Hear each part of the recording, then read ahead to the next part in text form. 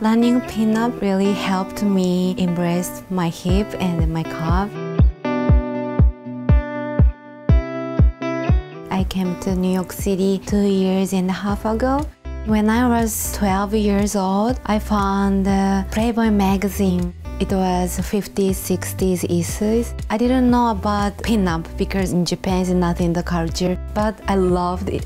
Nowadays, Japan has Playboy magazine, but it's just a sexual things for men. But 50s, 60s American magazine is more creative, more like fashionable and more cute.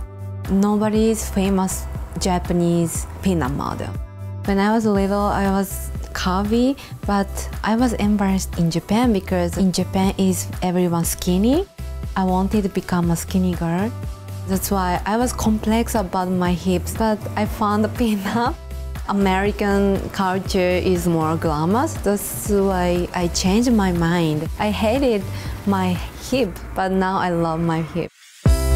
I think one biggest differently naked girl and pinup girl is a pinup girl has stories. Every picture has a story.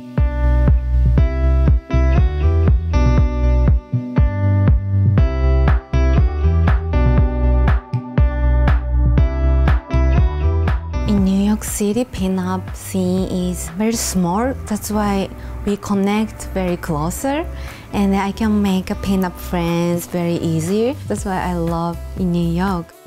I want to say my feeling or what I'm thinking about and I want to know about someone's feeling. I want to more connect but I can't. It's a very hard point. But the makeup and the hair I can watch and then learning. But my pinup friends, people very very kind on me. That's why I don't miss Japan.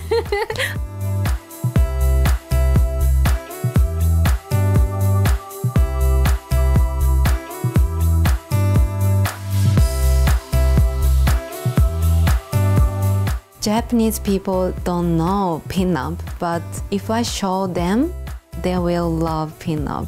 In Japan, is still taboo sex appeal. They are shy. I hosted pinup event in Japan. It was four days at the gallery. We do the pinup convention. We did hair makeup service for the customers. But some girls knows me on Instagram, then came to me and it was so cute. They want to become pinup model like me.